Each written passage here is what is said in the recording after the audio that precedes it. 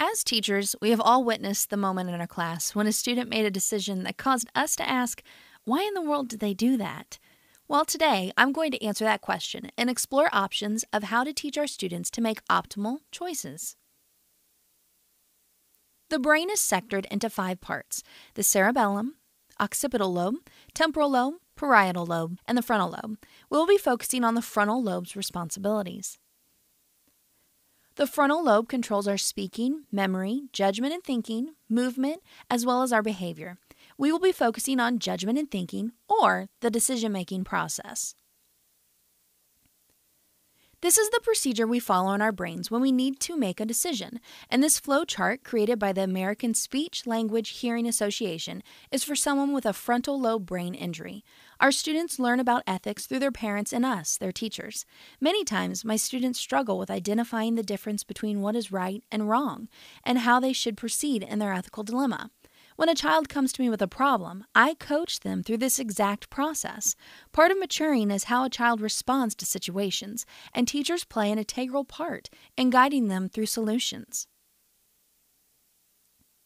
When scientists look for the cause of a mental illness, they look back at the brain from birth to adulthood because the brain changed as children grow. The teen years are when major changes take place. MRI scans show the shift from the younger, more active brain synapses, which is demonstrated with the red and yellow coloring, to the more mature, efficient synapses, the blue and purple areas. In adolescence, gray matter is more frequent. Gray matter is shown in the diagram as the red coloring. Gray matter is more frequent because the neural connections are pruned, meaning gray matter consists of cells that process information. Children are sponges for learning for this exact reason.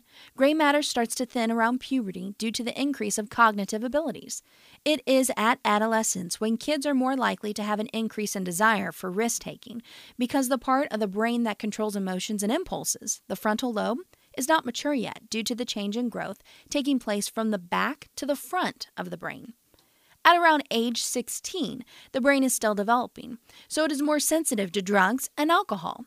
With the combination of sensitivity and the heightened desire for risk taking, it makes sense as to why teen deaths related to drugs and alcohol are so elevated. By age 20, the changes drugs and alcohol cause are likely to stay and become programmed as addiction. How is this relevant to me in the classroom? Well, to quote the National Institute of Mental Health, the more we learn, the better we may be able to understand the abilities and vulnerabilities of teens and the significance of this stage for lifelong mental health. So, when our students are having highs and lows, we need to remember that a lot of change is taking place under the surface. And if we, the adults, understand this information fully, we can create an environment which will accommodate our students' needs in and out of the classroom. Some of the best ways to set up a healthy environment is to establish an appropriate and trustworthy relationship with the students.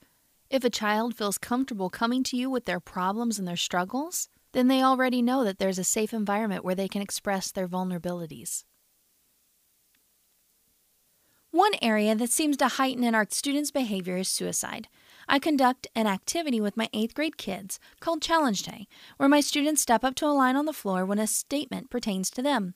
The statements are very innocent in the beginning, but shift to a heavier content later. While doing this, I found over 60% of my 98th grade students have contemplated suicide, while just under 10% admitted to having a suicide plan or attempting suicide.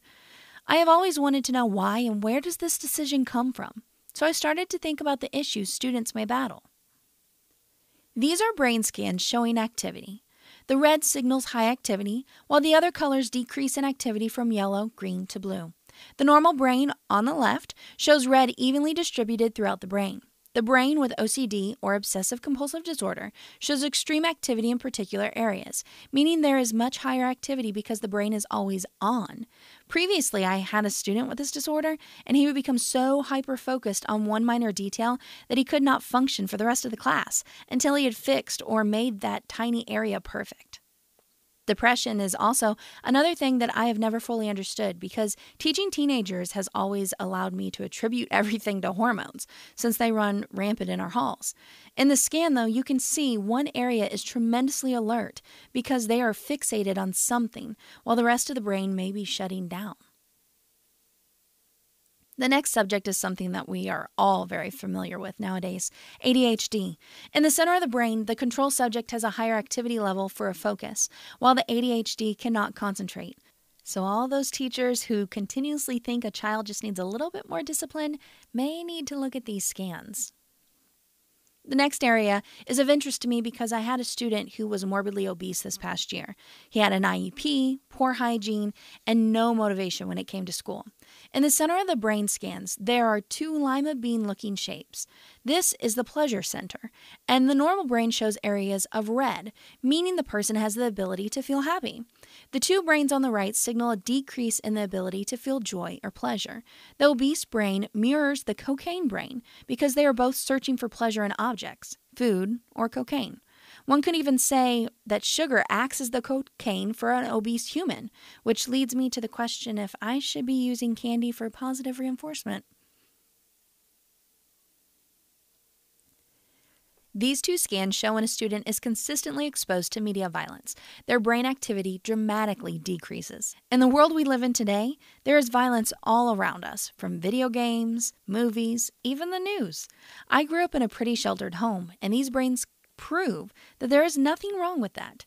So, as a teacher, how can I help my students who are battling these struggles?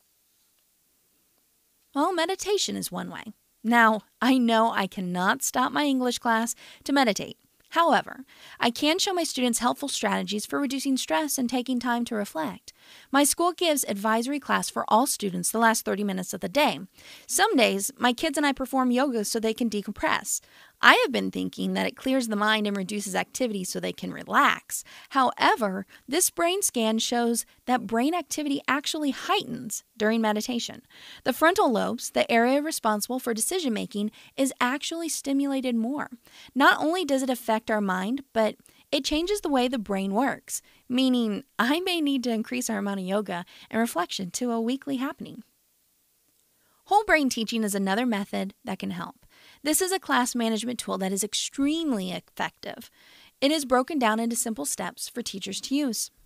The first step is the attention getter. The teacher says class, and the students respond yes. This is a common thing for teachers. We just use variations of it. In my drama class, I say drama and they say llama. It's fun and our thing that only they use, so it's special. But why is it so effective? The neocortex, the part of your brain located behind your forehead, controls decision making. The neocortex is the manager organizing the brain for difficult jobs. When a teacher says class and the students say yes, the teacher has focused their neocortex on what he or she will say next. The second step are class rules, and there are to be five of them. These can be adapted to any way the teacher wants, but they should be short and concise. Elementary students are suggested to use repetition of the rules in the mornings, after lunch, and after all recesses. The brain learns in five ways seeing, saying, hearing, doing, and feeling. When the rules are taught, our students' brains are functioning to the fullest.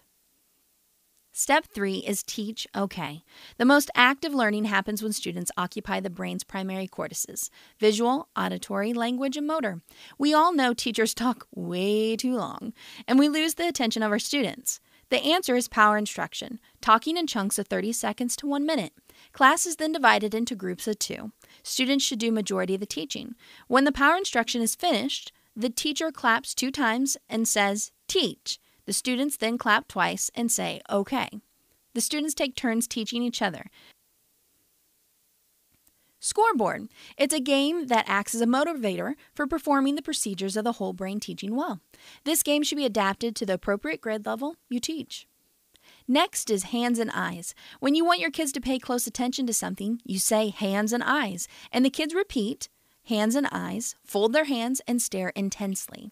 Step six is mirror. The teacher says mirror. The students repeat and mimic the teacher's actions. This works best when telling a story, directions, describing stages, or showing procedures.